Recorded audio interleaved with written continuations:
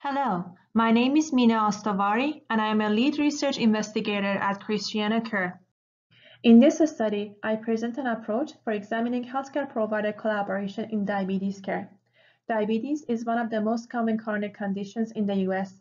Similar to other chronic conditions, diabetes care is complex and requires healthcare providers with various specialties.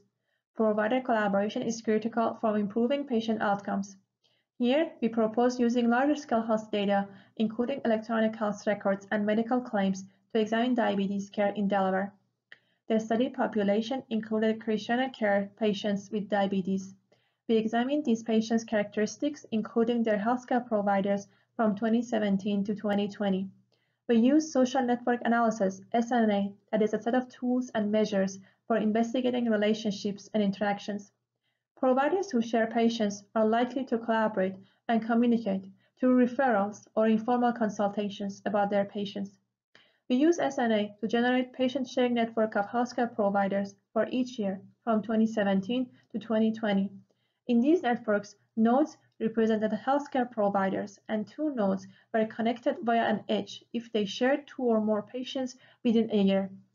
We generated two types of networks, one with all healthcare providers from claims data, and the other only with those involved in the routine care of patients, such as primary care providers and specialists. We use SNA measures, such as network density, to compare network characteristics over the years. There were 14,000 patients with an average age of 61 in the study population, out of which around 10,000 or 72% had at least one visit to a healthcare provider between 2017 and 2020. Most patients had Medicare as their primary insurance provider. Network characteristics such as density and number of nodes and edges remained consistent over the years. However, they changed significantly in 2020.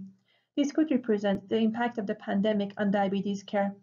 We will further investigate these patterns, particularly in 2020, and study the impact of provider collaboration on patient outcomes, including their hospitalization rates. The study findings can inform strategies to improve diabetes care in Delaware. Thank you.